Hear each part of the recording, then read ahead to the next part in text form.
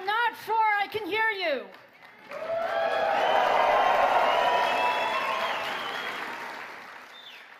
Today, I'm really, really happy to show you for the very first time our new high-end GPU for gamers and creators, AMD Radeon 7.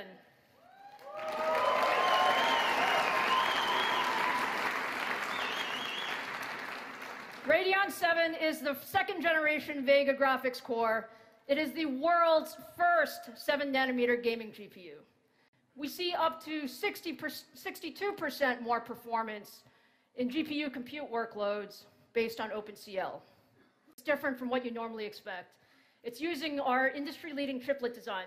So the smaller die is our 7 nanometer Zen 2 processor die with 8 cores and 16 threads. The larger of the dies is actually our I.O. die. This I.O. die is specific, specifically designed for the PC market and for desktops, and it feeds the data between the Zen 2 engine and the rest of the system. And so one of the things that's pretty important is to take advantage of some of the faster graphics cards and devices that are coming to market later this year. Next Gen Ryzen will also be the world's first PC platform to support the ultra-fast PCI Express Gen 4 standard.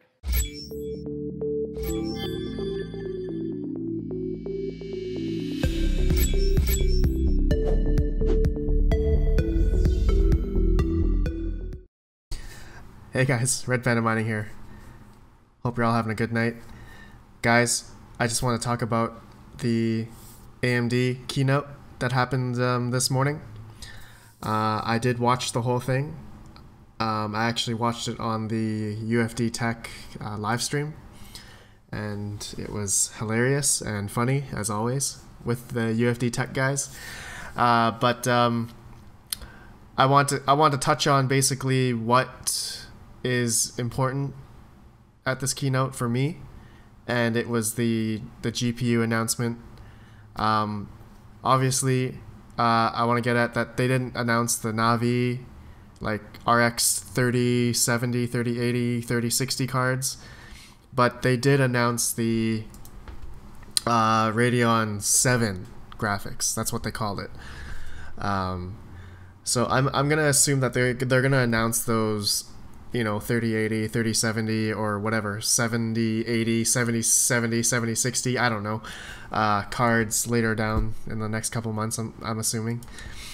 Um, so at the keynote um, you guys all know mr uh, sorry mrs lisa su and uh, she uh, she did a really good presentation. Uh, I got to admit, it was pretty pretty cool. Uh, it's obviously she was reading off a screen and trying to present it as naturally as possible, but you know, uh, it was the best that she could do.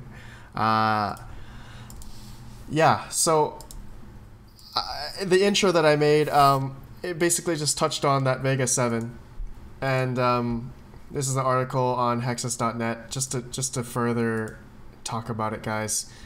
Um, the Zen 2 architecture. Um, was a graph uh, there was a moment there in the intro where I showed. She mentioned the compute performance was. Um, let's see if I can find it here. Uh, I don't know where it is. Somewhere. Anyway, the compute performance was uh, like 62% uh, better um, than the existing Vega. So I'm gonna, I'm, I'm just, I'm just pulling some things here out of my head that okay 62% better um, hash rate possibly in mining. Uh, as you guys know when you when you put your AMD cards into the compute performance then that's that's what is needed for to mine much better right? So I'm curious uh, here it is. Yeah 62 62% in OpenCL so that is the that is the driver for the uh, whatever compute and gaming, I guess. Uh, so that's the that oh that that's in comparison to the RX Vega. So it's not plus sixty two percent. It must be like maybe plus 25 30% better than the RX Vega in mining. I'm gonna assume roughly. Uh, Uh, but the price point for this card is, uh, it's it. She announced it at six ninety nine, and it's gonna release on February seventh. So I find that um, the price quite high. So I hope I hope that they'll announce like the other the lower end cards, the RX series or whatever they they're gonna call it, um, in the next maybe month or two, next couple months. Um, so yeah, uh, the Vega Seven, uh, Vega Two, uh, it's it's gonna have sixty compute units, um, twenty five percent more performance. Okay, so here it is. Yeah, twenty five percent more performance at the same power TDP. 60 gig, 16 gigabytes of high memory, high bandwidth memory. So HBM, uh, HBM two or HBM three, uh, HBM two, uh, and one terabyte per second memory bandwidth. So yeah, this is a this is gonna be a ballin card. It's gonna be really good. I uh, for gaming, I'm assuming DX12. Okay, so they have a comparison here: RTX 2080 versus the Radeon 7 it looks like to be on par with the RTX 2080. And uh, Vulkan performance, obviously, it's beating it. Hmm, interesting. Um, uh, that's not the RTX 2080 Ti, that's just the RTX. Uh, so it is likely the AMD will use more power for the same performance, 300 watt versus 250, and lack any forward-looking ray tracing. Obviously, yeah, no ray tracing, all that kind of stuff. Um, yeah, guys. So, I'm. This is the main part. I was really, I was really excited for. Obviously, um, it didn't seem like that hyped like there was a lot of hype pre AMD keynote. Like you guys, you know, I made the video of like, oh, I think AMD is gonna be huge this year, right? And I don't know, the whole keynote to me didn't seem didn't seem that super hype, but before it, you know, there was so much hype, right? And uh, I guess there was too much hype, and so my uh, my whole mentality of it of this keynote that we watched wasn't, I guess, kind of a letdown. Um, but who knows? AMD will surprise us all, right? They, they always come out with something good, always, all the time. So, um, you know, saving the best for last kind of thing. So, uh, yeah. Uh, the other thing that I want to touch on was the AMD, their uh, CPU. Um, I also had that in the intro, um, talking about the they're gonna have the seven nanometer nanometer Ryzen seven, um, Ryzen three thousand um, this is just an article on Forbes just to show you guys. Uh, so they did a comparison to the 90 i9 90, 9900K. Um, and apparently it beats it in Cinebench and it's also lower power consumption, which is pretty cool. So uh, apparently the benchmark was um, comparison to the Ryzen their Ryzen 7 uh, 2700 uh, 2700X. It's about 14% faster. So really, it's yeah, it's it's pretty it's pretty it's pretty decent. Not too bad.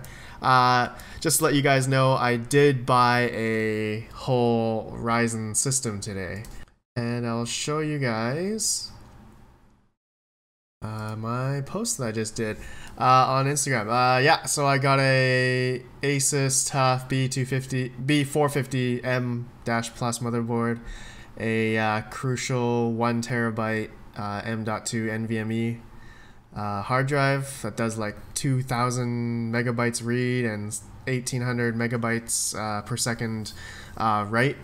So it's gonna be insane, four times faster than my SSD. I got the Ryzen 7 2700 and the uh, Corsair Vengeance RGB Pro uh, 32 gigabytes, 266 6 266 uh, 6 megahertz uh, RAM, and uh, the Thermaltake RGB 750 watt power supply. Uh, I just got a uh, computer case, a new computer case as well. I got the Phanteks uh, and uh, Phanteks Evolve MATX. It's the aluminum uh, gray edition. It's pretty sick, pretty sick. Uh, so I'm gonna build that. I'm gonna make a video about it later. But yeah, guys, uh, yeah, that's all I really want to touch on. Uh, really, those two things I'm excited for from the uh, keynote that Lisa Su, Mrs. Lisa Su, did, and um, yeah, it's overall I think it's it's going to be good for the space AMD versus Nvidia. The Nvidia one really. Uh, the whole 2060 and like 1160 thing i don't know i don't really uh, apparently, the 2060 is actually when you overclock it, it's better than the 2070. So that's that's pretty interesting. Um, but yeah, if this card comes out, yeah, February 7th, um, I may pick one up as uh, I need a new card for my new system here. I'm probably just going to use a RX 580 in the meantime.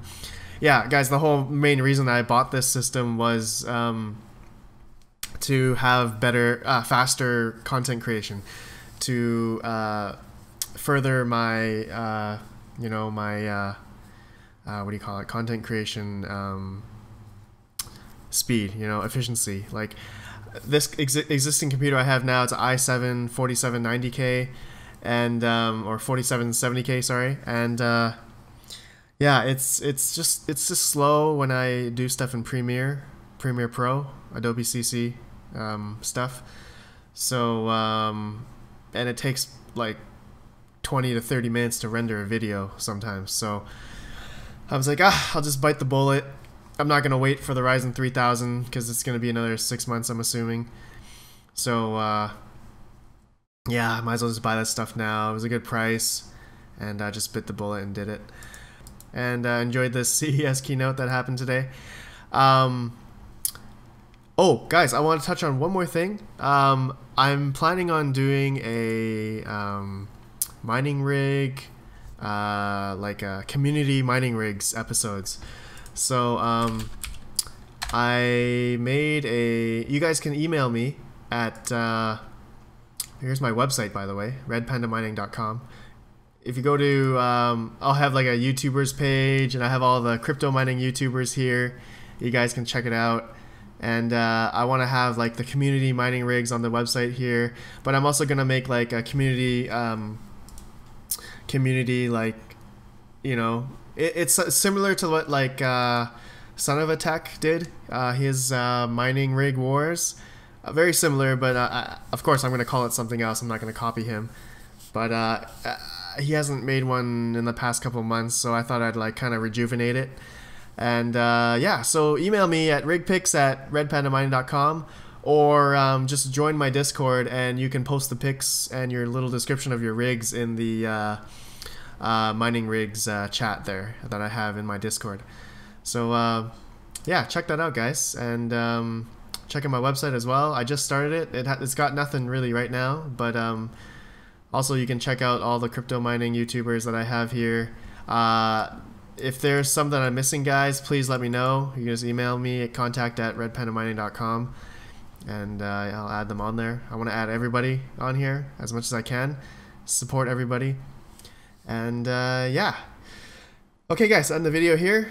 Please like, please like and subscribe, all that jazz. Uh, share the video. Um, I'll see you guys in the next video. Have a good one.